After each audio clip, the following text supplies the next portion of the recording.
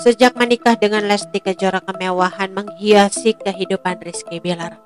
Barang branded hingga mobil mewah kerap dipamerkan oleh Rizky Bilar. Kini terkuak fakta di balik barang-barang mewah yang dipamerkan oleh Rizky Bilar tersebut. Tak semua barang branded itu dibeli dengan uang dari Rizky Bilar sendiri. Diketahui Rizky Bilar kerap memamerkan deretan mobil sport mewah miliknya.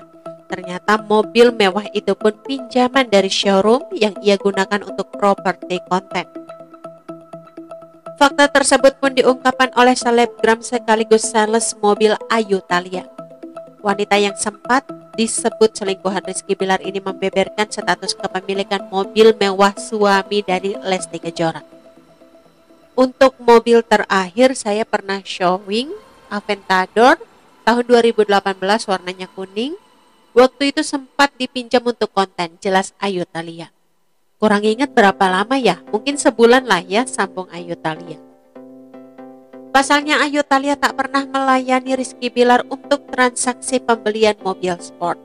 Lantaran Rizky Bilar bukan menjadi customer VVIP-nya. Ayu Talia menyebut Rizky Bilar selama ini berurusan langsung dengan sang pemilik showroom, Rodi Salim. Kalau untuk konten iya, tapi kalau untuk beli tidaknya saya sendiri tidak menandatangani satu surat pembelian kendaraan satupun tidak ada yang melalui saya ungkap Ayu Talia mungkin ada pembelian yang saya tidak tahu beli langsung sama Pak Rudi Salim ucap Ayu Talia Fakta lain tentang barang-barang mewah Rizky Bilar pun diungkapkan sendiri oleh rekan bisnisnya Basuki Surojo. Basuki Surojo mengaku pernah memberikan pasangan itu satu unit mobil mewah. Hadiah itu pun diberikan sebagai support atas kemajuan bisnis yang dikelola Rizky Bilar dan Lesti Kejora. Soal isu Rizky Bilar dilakukan KDRT, Basuki Surojo pun mengaku kaget. Namun Basuki Surojo memastikan kasus tersebut tak membuatnya menarik kembali hadiah tersebut. Enggak lah, enggak diminta lagi masa udah dikasih terus diminta lagi kan enggak enak kan emang untuk kakak, dedek, dan keluarganya jelas Basuki Surojo. Rumah mewah yang selama ini menjadi tempat tinggal pasangan Rizky Bilar pun ternyata juga bukan milik pribadi. Hal tersebut dibeberkan oleh ibu RT setempat. Fashion yang dipakai Rizky Bilar pun seperti toko mewah berjalan.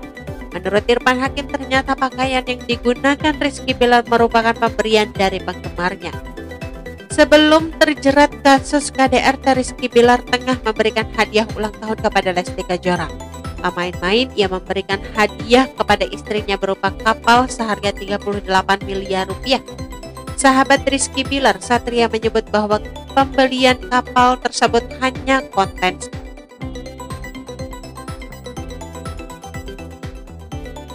Oke teman-teman itu sedikit berita dari channel vlog berita. Sampai ketemu lagi di berita-berita selengkapnya. Assalamualaikum